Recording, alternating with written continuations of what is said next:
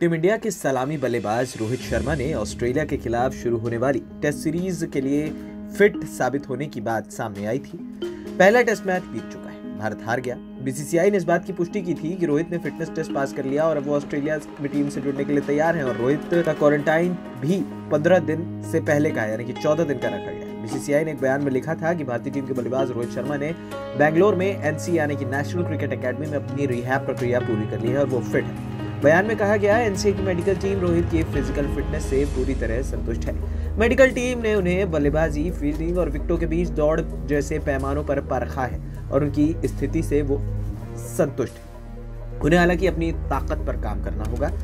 Australia पहुँचने पर वो दो सप्ताह के लिए क्वारंटाइन है ही और फिर वो टीम से जुड़ सकेंगे लेकिन टेस्ट श्रृंखला के आखिरी दो मैचों में उनके खेलने पर फैसला अब अलग तरीके से लिया जाना है। दरअसल मेडिकल दल द्वारा फिर से आकलन रोहित शर्मा का किया जाएगा।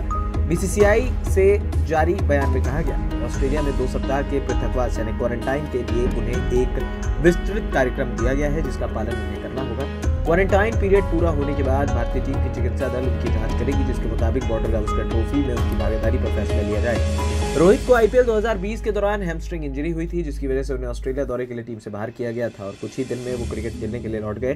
जिससे अटकलों का दौर शुरू हो गया। इसके बाद उन्हें टेस्ट टीम में शामिल कर लिया गया।